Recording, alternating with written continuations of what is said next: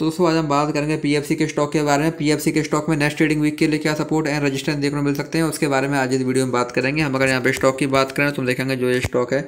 ये हमको पिछले एक लंबे समय से यहाँ पर लगातार क्लियर अपडेट में देखने को मिल रहा है। हमको यहाँ पे स्टॉक में लगातार हाइयर हाई हाइयर लो वाला पैटर्न यहाँ पर देखने को मिल रहा है। और आज भी हमको यहाँ पर स्टॉक में three point four three percent की यहाँ पर एक अच्छी खासी तेज़ी देखने को मिली है। तो यहाँ से भी हम स्टॉक में बात करें।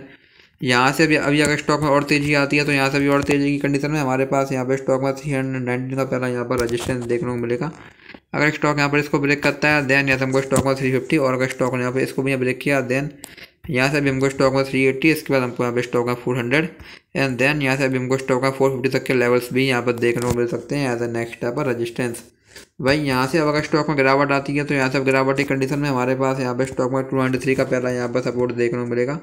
अगर स्टॉक यहाँ पर इसको ब्रेक करेगा देन यहाँ से हमको स्टॉक में टू एट्टी एंड देन यहाँ से हमको स्टॉक में अगेन टू सिक्स टू तक के लेवल्स भी यहाँ पर देखने को मिल सकते हैं एज ए नेक्स्ट टाइप पर सपोर्ट तो ये स्टॉक में कुछ इंपॉर्टेंट लेवल्स हैं, आप इन पर ध्यान दे सकते हैं।